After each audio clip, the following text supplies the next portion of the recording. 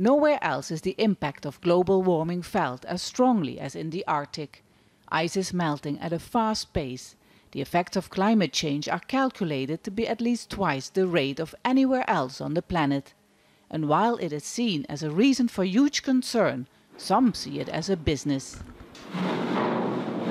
Navigating through the Northern Sea route between East Asia and Europe has now become a possibility, reducing travelling time significantly compared to the southern route through the Suez Canal. And developing the Arctic route has become one of President Putin's main policies. He wants to see a tenfold increase in cargo in the next five years. Only 10 or 15 years ago, this number seemed totally unreachable. Now it's a realistic, calculated, and concrete task to accomplish. Last year, the amount of cargo on the Northern Sea route reached 20 million tons, which is three times the Soviet record from 1987. For now, most of the ships using the northern route are oil and gas tankers. But to help commercial cargo ships maneuver through the Arctic, Russia is building three nuclear-powered icebreakers and aims to produce 13 more by 2025. This part will be with ice at least 20 years.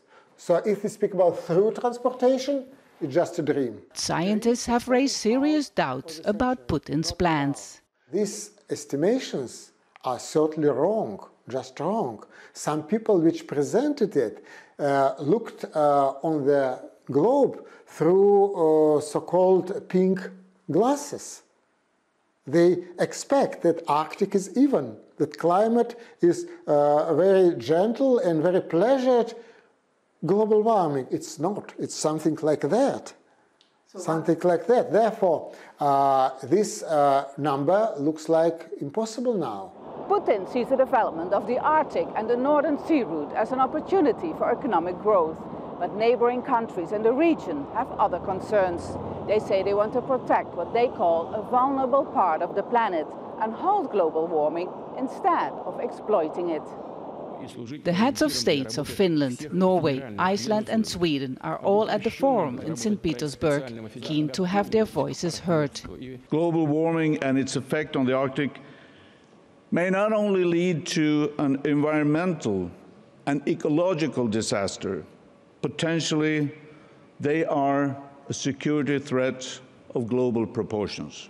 Russia has downplayed concerns of a possible military buildup in the Arctic, but with huge gas and oil reserves still untapped, the Arctic is no longer an undisturbed, isolated part of our planet. It is rapidly becoming a geopolitical new frontier.